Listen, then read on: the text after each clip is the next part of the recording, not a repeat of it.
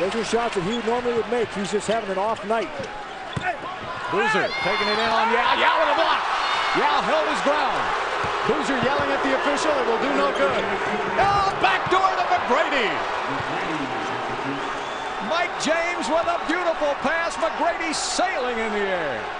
As the, against Boozer, Yao keeping his position, going straight up, then getting the block. Then the outlet pass to Mike James and throw it on up there to the big fella.